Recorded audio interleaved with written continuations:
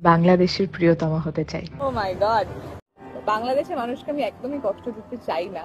আমি ইন্ডিয়া থেকে বাংলাদেশে এসছি বাংলাদেশের মানুষের কষ্ট দিতে না বরঞ্চ আনন্দ দিতে। আমি সমুদ্র যখন ডান পার্শ্বে বাম পাশে তখন পাহাড় আর মুখোমুখি তখন প্রিয়তমা। বাট একটা ব্যাড লাক প্রিয়তমাটা আমার না। বাংলাদেশের প্রিয়তমা হতে চাই। ও মাই গড আসলে প্রিয়তমাটা কার? আমার প্রিয়তমা না হলেও বাংলাদেশের প্রিয়তমা। এখানে আমারও ভাগ রয়েছে। প্রিয়তমার নায়িকা নিয়ে একটা সংশয় ছিল। অনেকের নাম এসেছিল, আবার অনেকের নাম বাদ পড়ে গেছিল। যেমন ক্যাটরিনা কাইফের নাম এসেছিল।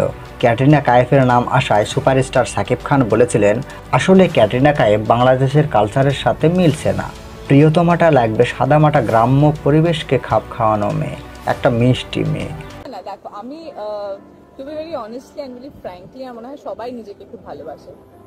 আমিও নিজেকে খুব ভালোবাসি। তো আমার যেগুলো প্লাস পয়েন্ট আর যেগুলো মাইনাস পয়েন্ট সেই দুটোকে নিয়েই আমি নিজেকে ভালোবাসি। সাকিব খান বলেন, আপনারাই বলুন, ক্যাটরিনা কাইফকে কি এরকম মনে হয়? অনেক যাচাই বাছাইয়ের পর শেষ পর্যন্ত ইদিকা পল টিকে যায়। প্রিয়তমা হয়েই ইদিকা পল বলেন, আমি শুধু সাকিবেরই প্রিয়তমা না, আমি সমস্ত বাংলাদেশের প্রিয়তমা। সো আমাদের প্রিয়তমা, বাংলাদেশের প্রিয়তমা খুঁজে নিলাম ইন্ডিয়া থেকে। বাংলাদেশের যারা প্রিয়তমা হবার অপেক্ষায় রয়েছিল, তাদের সম্পর্কে আপনার কি বলার আছে?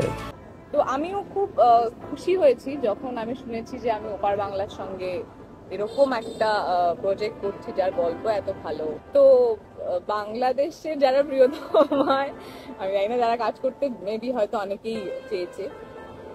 তবে তাদেরকে আমি থ্যাংক ইউ বলব অ্যাকচুয়ালি যে তারা কাজটা করেনি আর আমি কাজটা করতে পারছি। আপনি তো নিউ কামার স্টাডির খাতিরে সাকিব খান সম্পর্কে কি জানতেন বা কাজ শুরু করার পর কীভাবে আয়ত্ত করছেন? আমি শাকিব খানের ব্যাপারে অবভিয়াসলি জানতাম যে সে খুব ভালো একজন অ্যাক্টর এক্সাইটেড খুব ছিলাম কারণ এত বড় একজন স্টারের সঙ্গে কাজ করছি বাংলাদেশের সুপারস্টার তার সঙ্গে প্রথম প্রজেক্ট তো ভীষণ এক্সাইটেড ছিলাম। দুশ্চিন্তাতেও ছিলাম যে এরকম থাকে না, এরকম একজন স্টারদের একটা নিজস্ব অরা থাকে। সেই অরার পাশে দাঁড়িয়ে মানে আমি কতটা নিজেকে সেখানে দাঁড় করাতে পারব বা কীভাবে তার সঙ্গে অভিনয় করতে পারব এটা নিয়ে আমি একটু দুশ্চিন্তা ছিল তাহলে আপনি অবজার্ভ করেছিলেন যে সাকিব খান মানে আপনার জন্য নতুন চমক। আসলে আপনার কাছে চমকের কি আছে? আপনি হাসলে কি মানুষ পাগল হয়ে যায়? আপনি কাঁদলে বুঝি মানুষ দুঃখ পায়?